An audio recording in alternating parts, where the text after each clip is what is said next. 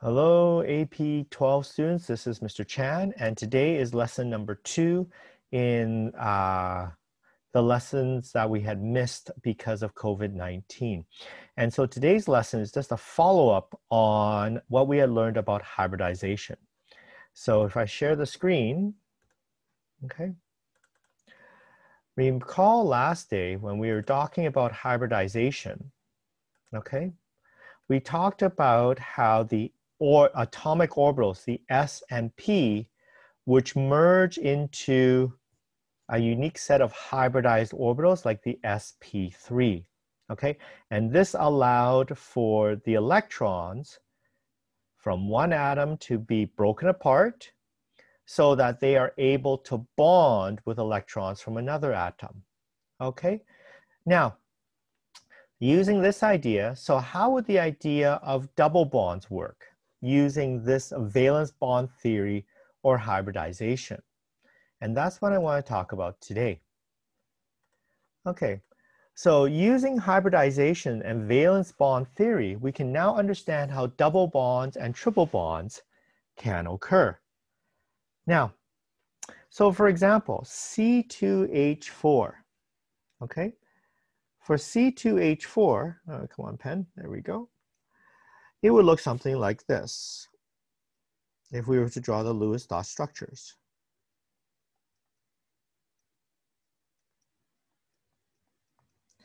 Now, remember when we were determining the shape, we said back when we were doing Lewis dot structures, the double bond here, you pretended that there was only a single bond. So it would look something like this when we were determining the shape. Okay, and remember here was we determined, we imagined that it was a single bond. Okay. Now, so in the notes here, it says, since the orientation around each carbon is like three electron pairs, Recall double bonds is treated like a single bond for shape determination. The shape around the carbon is trigonal planar.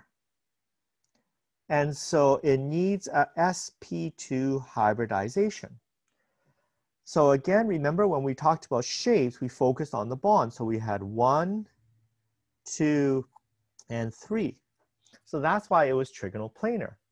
So you would have sp2. But in this case, you go, okay, it's sp2. I understand that. But what's going on with this? So what happens when we have this orbital?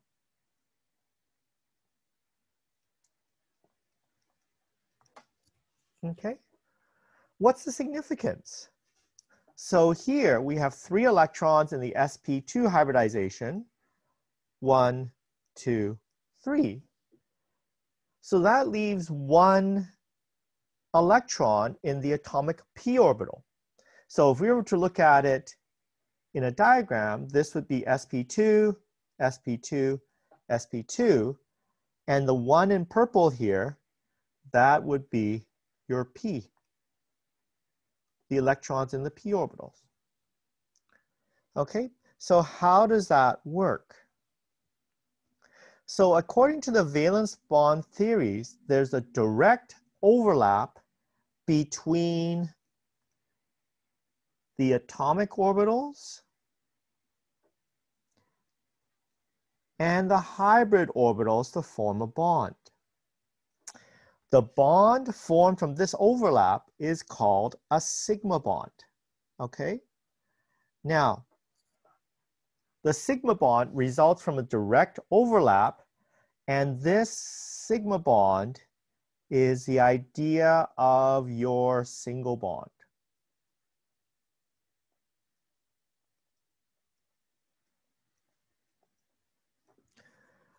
So notice right now, if you take a look at this particular diagram, for C2H4, there is a direct overlap here direct overlap here, direct overlap here, direct overlap here. Those are all sigma bonds, and there's a direct overlap of orbitals here as well. Okay, now, but what about the p orbital? What about this one right here? Okay. Now, there's also an indirect overlap from the, whoopsie, there's an indirect overlap from the unhybridized or atomic p orbitals. This indirect overlap forms the second bond between the carbons. And this is what we call the pi bond. So what you have is you could have the electrons. Remember we said up here, there's this electron here in this p orbital. So what happens is you have one electron on this carbon, one electron on this carbon, and what happens is that it creates an indirect overlap.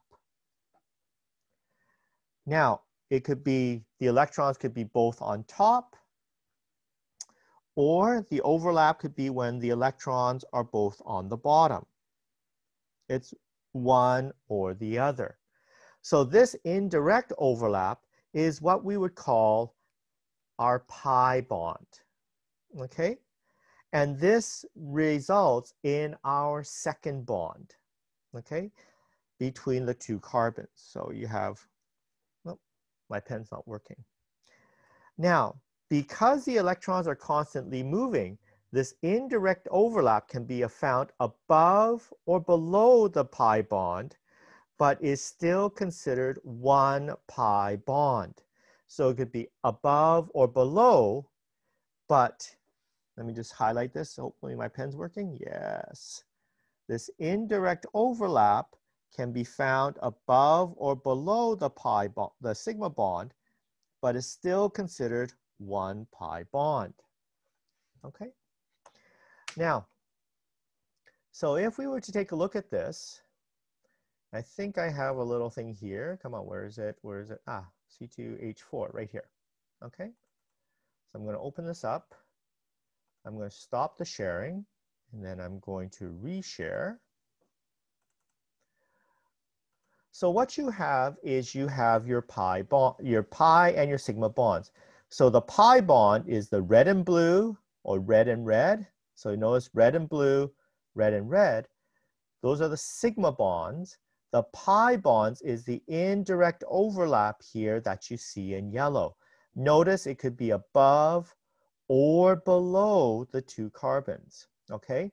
And that's the reason being for that is because the electrons are constantly moving. So they can form a bond above or they can form an indirect bond below. So that would be CH4, okay? So let me close this off, okay? Now, what about, let me get back here. What about C2H2? Okay, for triple bonds, orientation is like two pairs. The shape is linear, so you need the sp hybridization around the central atom. So here, the, since the shape is linear, it's sp hybridization. Okay, so for example, let's say we had our Lewis dot structure here. Okay, so we have HC triple bond CH. Remember, the shape of it would be, remember these three bonds merge into one. Okay? So what you have is, again, you have these two, which are hybridized.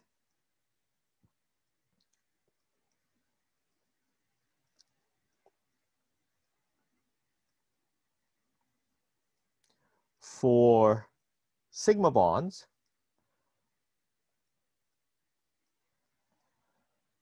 and what you're left with is these two are the atomic orbitals.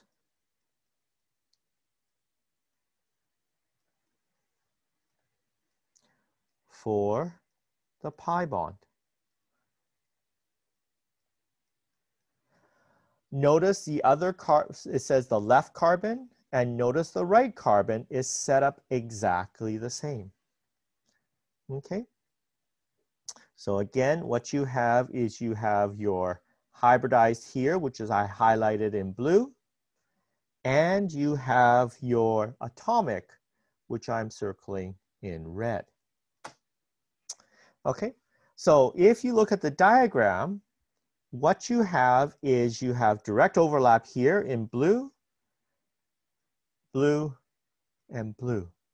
And what you have here is in red, you have the pi bonds, either two above or two below. Now, how would that look? Would be something like this. So I'm going to get this going. Okay, and I'm just gonna stop the sharing, share the screen. And so what you have here is you have in the red or the red and blue, that would be the um, sigma, uh, sigma bonds. And then you notice the indirect above, below, or side to side in yellow, those would be the indirect overlap of the p orbitals that creates the pi bonds. Okay, so this would be a triple bond because the triple bond between the carbon, you would have one sigma, and then you would have two pi. Okay, remember, above and below is one pi, left and right is the other pi. Okay? Okay. Now, let me just get this here. Oopsie. Using hybridization and the idea of sigma and pi bonds, we have some idea of why resonance structures occur. Now, remember, resonance structure is when the electrons, uh, there's more than one way to draw uh, a structure because the double bond is moving. Remember, we had talked about this. And the reason is this, the pi bond interactions do not necessarily stay between two atoms. Instead, the interaction can be shifted between atoms. This is called delocalization. Okay? So instead, the pi bonds interaction can be shifted between two atoms, called delocalization. If two or more resonance structure molecules can be drawn, then what theoretically occurs is midway between them, called the resonance hybrid. Okay, now a classic example of a resonance hybrid would be benzene. Benzene is C6H6, and what is drawn in is a six carbon ring. Now, when I draw it here, notice I have the pi bond here, I have a pi bond here, and a pi bond up front. Now, what's to say, why can't I withdraw a pi bond, I'm going to highlight it in blue, between these two? Couldn't I put the pi bond here? Could I not put the pi bond in between these two? Or pi bond here between these two? Okay, so because the electrons are moving, and what happens is the pi bonds can be formed between the different carbons. As we can see here, what happens is most commonly when you do the benzene ring, you are just drawing six carbons. So here, one, two, three, four, five, six. And this ring represents the moving double bond. So that is the classic idea of resonance hybrid. Okay. Later on, when you're doing biology 12, you're talking about aromatics and organic chemistry, you'll see the benzene ring and you can understand why they draw it as a circle. All right. Now, what I'm going to do is I'm just going to give you a quick example of a typical question you would see. Now, this is in your Zumdahl. I got this from the ninth edition, okay? And so I'm just going to go over what we have here. Now, so a typical question would be, how many carbons are sp3 hybridized? Now, what do I mean by sp3 hybridized? Means that there are four bonds attached. So here, it'd be one, two, three, four, five, and six. There's actually six here. Now, why is it six? is because of the fact that here, for the CH3 up here, we need to break it down into C, H, H, H. So that was a little trickier. Okay? Now, how many are sp2 hybridized? sp2 means that there are the shape of trigonal planar. So in this case, it would be carbon would be one, two, three, and four. Remember here, the double bonds are treated as one. Okay? And which atom is sp hybridized? In this case, you're looking for linear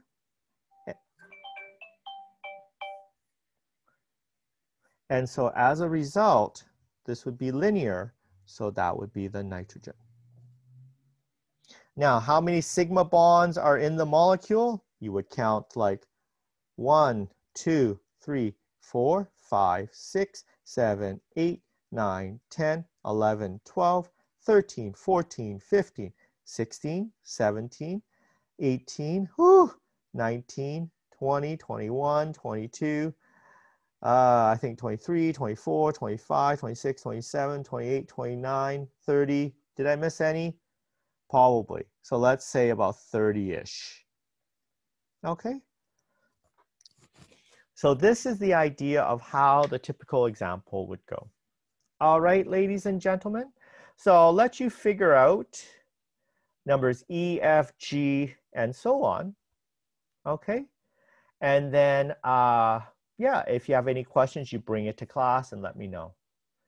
All right, ladies and gentlemen, thank you very much. And hopefully this clarifies a little bit of um, what's going on with bonding using valence bond theory and hybridization. All right, thank you very much. Have a good day. Bye-bye.